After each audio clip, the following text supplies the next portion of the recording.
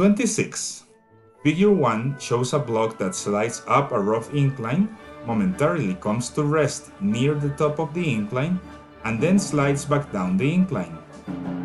Figure 2 shows a free body diagram for the block as it moves up the incline, where N is the normal force, F is the force of friction, and W is the force of Earth's gravity. Figure 3 shows a free body diagram for the block as it moves down the incline. Based on these figures, which of the following is a correct statement?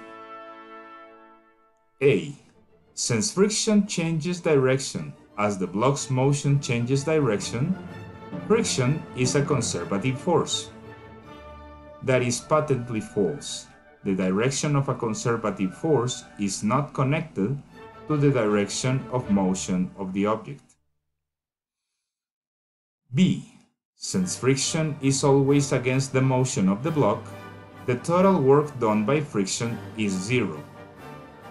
That is illogical, since the work is always going to be negative. C. Since the normal force is always perpendicular to the motion, the normal force is a conservative force. The same reasoning applies here as for option A. The direction of a conservative force is not necessarily connected to the direction of the motion. D.